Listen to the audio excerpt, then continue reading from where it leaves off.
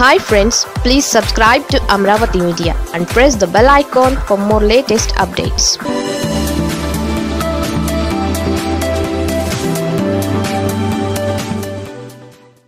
Donakonda మరోసారి తెరపైకి మహర్దశ పట్టనుందా? అమరావతిని రాజధానిగా ఎంపిక చేయడంతో దొనకొండ క్రమంగా తెరమరుగైంది. అయితే తాజాగా మరోసారి దొనకొండ తెర మీదకు వచ్చింది. అయితే ఈసారి రాజధానిగా కాదు ప్రభుత్వం తీసుకుంటున్న కొన్ని చర్యలు స్థానికుల్లో క్రొత్త ఆశల్ని రేపుతున్నాయి. ఏపీకి క్యాపిటల్ ప్రాంతం కాబోయి కొద్దిలో మిస్ అయిన ప్రాంతం ఇది ప్రకాశం జిల్లాలో విస్తారంగా అటవీ ప్రభుత్వ భూములు గల ఈ ప్రాంతంలో ఏపీకి రాజధాని నిర్మించాలన్న ప్రతిపాదన చాలా కాలం పాటే కొనసాగింది. అయితే చంద్రబాబు ముఖ్యమంత్రి కావడం అమరావతిని రాజధానిగా ఎంపిక చేయడంతో దొనకొండ క్రమంగా తెరమరుగైంది. దొనకొండ రాజధాని అవుతుందన్న నమ్మకంతో అక్కడ భారీగా అక్కడ భారీ ఎత్తున భూములు కొన్నవారు తొలుత డేలా పడినా ఆ తర్వాత ఎంతో కొంతకు అమ్ముకొని బయటపడ్డారు. అయితే తాజాగా మరోసారి దొనకొండ తెర మీదకు వచ్చింది. అయితే ఈసారి రాజధానిగా కాదు. ప్రకాశం జిల్లా దొనకొండపై ప్రభుత్వం ప్రత్యేక దృష్టి సారించింది. నేవీ డిఫెన్స్ సోలార్ ప్రాజెక్టుల ఏర్పాటుకు కసరత్తు చేస్తోంది. ఇందువల్లే దొనకొండ పేరు మళ్ళీ తెరపైకి వచ్చింది.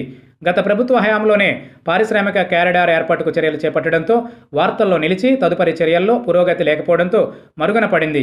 ప్రస్తుతం నేవీ డిఫెన్స్ కేంద్రాల ఏర్పాటు సోలార్ ప్రాజెక్టుకు వైసీపీ ప్రభుత్వం చర్యలు చేపడుతుండటంతో ఈసారైనా అభివృద్ధికి పూర్తిస్థాయి అడుగులు పడతాయని ఇక్కడి ప్రజలు ఆశాభావం వ్యక్తం చేస్తున్నారు. దొనకొండ పరిసర ప్రాంతాల్లో యాభై వేల ఎకరాల ప్రభుత్వ అసైన్డ్ భూములు అందుబాటులో ఉండడంతో వైసీపీ ప్రభుత్వం ఇక్కడ జాతీయ స్థాయి పరిశ్రమలు నెలకొల్పేందుకు గ్రీన్ సిగ్నల్ ఇచ్చింది. డిఫెన్స్ క్లస్టర్ అలాగే సోలార్ పవర్ ప్లాంట్లను ఏర్పాటు చేసేందుకు సుముఖత వ్యక్తం చేయడంతో మళ్ళీ దొనకొండకు మహర్దశ పట్టే అవకాశాలు కనిపిస్తున్నాయి. దీంతో ప్రకాశం జిల్లా వాసులు హర్షం వ్యక్తం చేస్తున్నారు. తాజాగా దొనకొండ కేంద్రంగా డిఫెన్స్ క్లస్టర్ను కూడా ఏర్పాటు చేసేందుకు ప్రభుత్వం కసరత్తు ప్రారంభించింది. రైతులకు ఉచిత విద్యుత్ అందించేందుకు ప్రకాశం జిల్లా దొనకొండలో వెయ్యి మెగావాట్ల సోలార్ విద్యుత్ ప్లాంట్ ఏర్పాటుకు రాష్ట్ర ప్రభుత్వం రంగం సిద్ధం చేసింది. రెవెన్యూ సిబ్బంది సుమారు ఐదు వేల ఎకరాల భూమిని సర్వే చేసి నివేదిక తయారు చేశారు. మండలంలోని రుద్రసముద్రం భూమరపల్లి మంగినపూడి ప్రాంతాల్లోని పలు సర్వే నంబర్లకు సంబంధించిన భూమిని గుర్తించారు. నాలుగు వేల కోట్లతో ఈ ప్రాజెక్టు ఏడాదిలోనే పూర్తి చేసి మరో ఏడాది నాటికి విద్యుత్ ఉత్పత్తి చేయనున్నట్లు సమాచారం.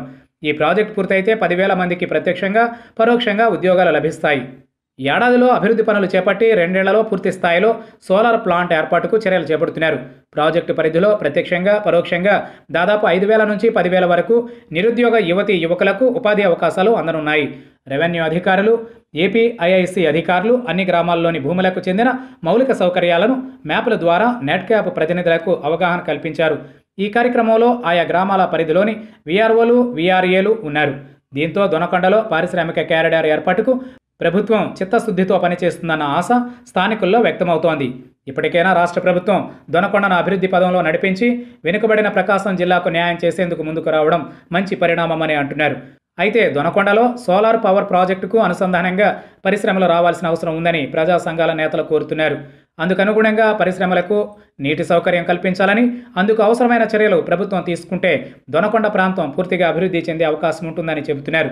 మరోవైపు గత ప్రభుత్వాలు చేసిన నిర్లక్ష్యం తాత్సారం కారణంగా తాజాగా రాష్ట్ర ప్రభుత్వం చేపడుతున్న పనుల పట్ల కొన్ని ప్రజా సంఘాల నేతలు అనుమానాలు వ్యక్తం చేస్తున్నారు. గత ప్రభుత్వాల మాదిరిగా కేవలం మాటలకే పరిమితం కాకుండా చేతల్లో ఆచరణ అమలు చేస్తే మంచిదేనంటున్నారు దొనకొండలో వేల ఎకరాల ప్రభుత్వ భూములు ఉన్నాయని వాటిని సద్వినియోగం చేసుకోవాలని పలువురు కోరుతున్నారు.